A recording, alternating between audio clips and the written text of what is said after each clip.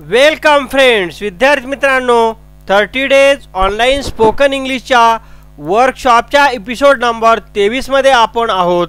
आणि आजचा एपिसोड हा आपल्यासाठी खास आहे कारण याच्यानंतर जे एपिसोड येणार आहेत ते एपिसोड आजच्या भागावर आधारित असणार आहेत. म्हणून आपल्याला आजचा हा एपिसोड पाहावाच लागेल. आजच्या एपिसोडमध्ये आपण शिकणार आहोत मॉडल्स तसेच कोणत्या मोडसबरोबर कोणता सब्जेक्ट वापरायचा त्याचा विचार करणार आहोत. त्याच पद्धतीने प्रेझेंट फॉर्म म्हणजे काय ते पाहणार आहोत. तसेच काही महत्त्वाचे रूल्स महत्त्वाचे नियम आजच्या भागामध्ये आपण पाहणार आहोत. आणि काही उदाहरणंसुद्धा पाहण्याचा आपण पाहणार आहोत. चला तर मग सुरुवातीचा भाग आपण पाहतोय. मॉडल्स विद्यार्थी मित्रांनो इंग्रजीमध्ये तेरा मॉडल्स आहेत मॉडल ऑक्झिलरी वर्ब आहेत आणि ते कोणकोणते आहेत ते आपण आता पाहूया.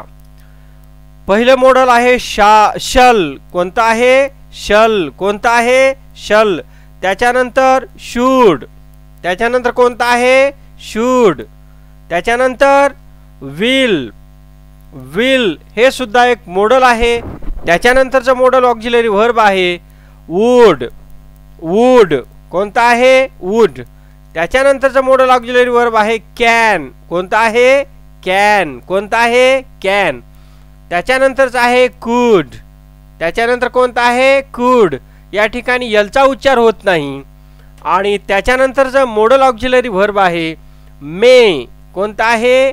मे त्याच्यानंतरचं मोडल ऑक्झिलरी व्हर्ब आहे माईट माईट कोणता आहे? माईट त्याच्यानंतरच आहे मस्ट मस्ट कोणता आहे? मस्ट त्याच्यानंतरचं मॉडल ऑक्झिलरी व्हर्ब आहे ऑट टू ऑट टू कोणता आहे?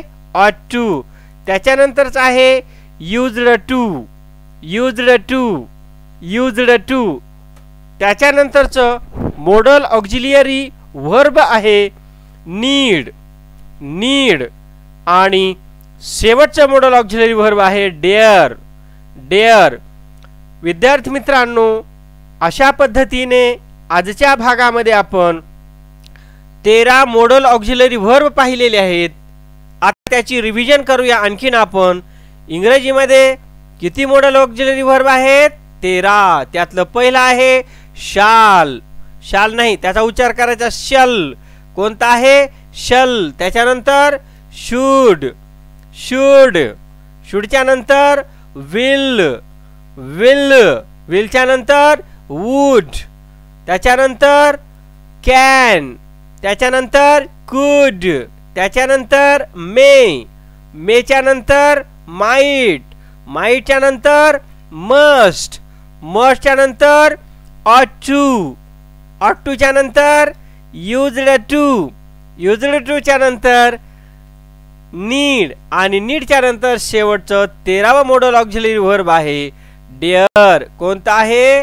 डेअर विद्यार्थी मित्रांनो आपल्याला विनंती आहे ही सर्वच्या सर्व मॉडल ऑक्झिलरी व्हर्ब वही घ्या पेन घ्या आणि वहीमध्ये लिहून काढा कारण याच्यावर आधारित याच्यानंतरचे व्हिडिओ आहेत. म्हणून ही मॉडल ऑक्झिलरी व्हर्ब इंग्रजी बोलण्यासाठी अत्यंत महत्त्वाची आहेत.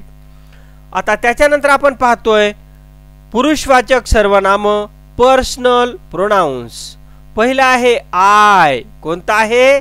आय त्याच्यानंतर आहे आयचं अनेक वचन वी आयचं अनेक वचन वी त्याच्यानंतर द्वितीय पुरुषवाचक सर्वनाम आहे यू. यूचं अनेक वचन काय आहे? यूचं अनेक वचन यू. काय आहे? यूचं अनेक वचन यू. हेच आहे. त्याच्यानंतर आपण पाहतोय तृतीय पुरुषवाचक एकवचनी सर्वनाम ही ही हिचं अनेक वचन काय आहे? T H U I they.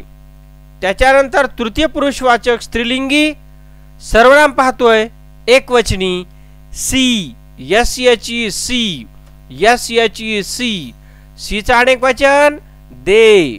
सीचं अनेक वचन दे. त्याच्यानंतर तृतीय पुरुषी एकवचनी नपुसकलिंगी. सर्वनाम पाहतोय आपण.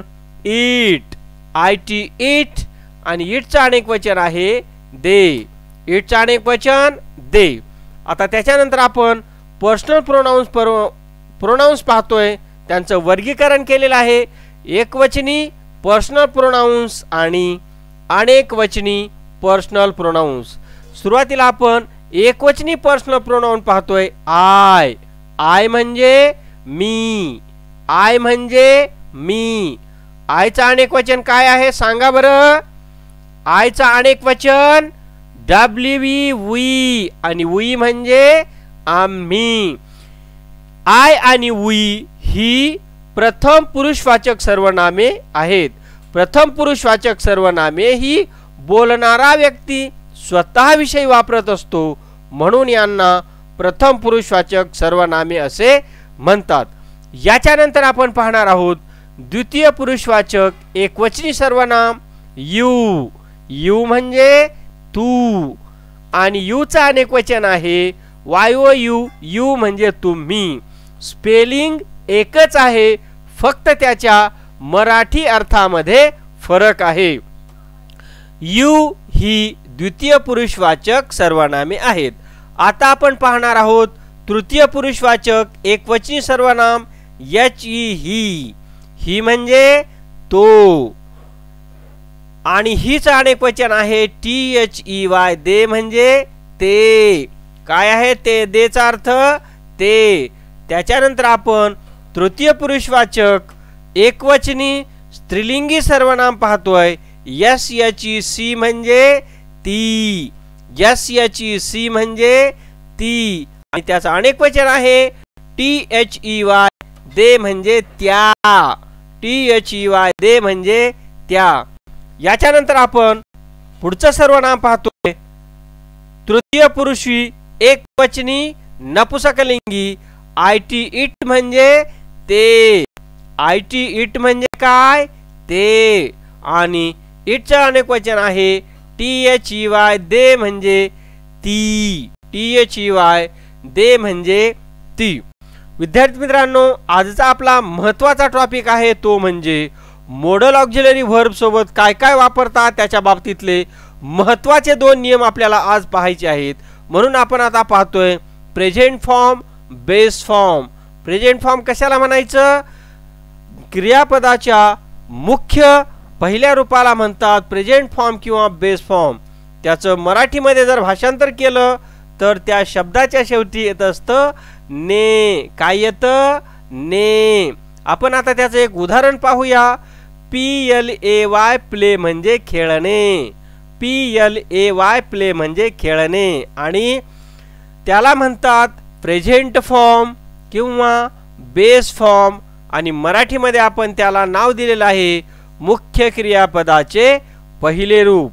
विद्यार्थी मित्रांनो आत्तापर्यंत आपण जितक्या गोष्टी शिकलेल्या आहेत त्या गोष्टीच्या आधारे मोडल ऑक्झिलरी व्हर्बच्या बाबतीतील दोन महत्त्वाच्या गोष्टी आपल्याला शिकायच्या आहेत.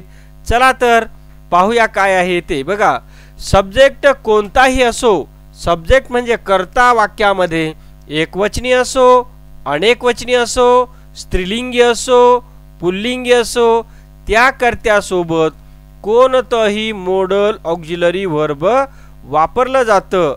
हा झाला पहिला नियम. आणि दुसरा नियम आहे मोडल ऑक्झिलरीसोबत मुख्य क्रियापदाचं म्हणजे मेन व्हर्बचं फर्स्ट फॉर्मच वापरतात. आणि त्याच्यानंतर ऑब्जेक्ट आणि इतर शब्द येत असतात. हीच बाब आपण दुसऱ्या आकृतीच्या साह्याने समजून घेऊया. बघा वाक्यात कोणताही करता असो त्याच्यासोबत वा कोणताही करता म्हणजे करता एकवचनी असो करता अनेकवचनी असो करता स्त्रीलिंगी असो करता पुल्लिंगी असो करता नपुसकलिंगी असो करता एकवचनी असो करता अनेकवचनी असो त्याच्यासोबत वापरतात कोणतेही मॉडल्स किती आहेत मॉडल ऑक्झिलरी वर्ब तेरा. आणि मोडल ऑक्झिलरी व्हर्बच्या सोबत वापरतात मुख्य क्रियापदाचे पहिलेच रूप. काय वापरतात? मुख्य क्रियापदाचे पहिलेच रूप आणि त्याच्यानंतर कर्म व इतर शब्द. हीच बाब आपण दुसऱ्या आकृतीच्या साह्याने समजून घेणार आहोत. सब्जेक्ट कोणताही असू देत त्याच्यासोबत वापरतात कोणतंही मॉडल ऑक्झिलरी व्हर्ब आणि मॉडल ऑक्झिलरी ऑफ व्हर्बच्या सोबत वापरतात. मेन व्हर्ब वन आणि त्याच्यानंतर ऑब्जेक्ट प्लस अदर वर्ड्स विद्यार्थ्यांनो मला वाटतं आजचा भाग आपल्याला अतिशय चांगल्या प्रकारे समजलेला असेल. आता याच्यानंतर आपल्या थर्टी डेज ऑनलाईन स्पोकनच्या वर्कशॉपमध्ये जे व्हिडिओ असणार आहेत ते आता याच्यानंतरचे व्हिडिओ मोडल ऑक्झिलियरी व्हर्बच्या भागावर आधारित असणार आहेत. म्हणून हा व्हिडिओ पुन्हा पुन्हा पहा आणि या व्हिडिओमध्ये सांगितलेल्या सर्वच्या सर्व गोष्टी मुखोद्गत करून टाका. त्याची पुन्हा पुन्हा उजळणी करा आणि तो भाग पक्का करून घ्या. म्हणजे याच्यानंतर आपल्याला अडचणी येणार नाहीत. विद्यार्थी मित्रांनो आपल्या चॅनलवर असेच नवनवीन व्हिडिओ येत असतात आणि त्या व्हिडिओचा जर तुम्हाला फायदा घ्यायचा असेल लाभ घ्यायचा असेल तर आपण या चॅनलवर जर नवीन असाल तर कृपया चॅनलला सबस्क्राईब करा आणि बाजूला दिलेल्या बेल आयकॉनलाही हळूच टच करायला विसरू नका. विद्यार्थी मित्रांनो आपण संपूर्ण व्हिडिओ पाहिलात. Thank you for watching bye पुन्हा भेटूया.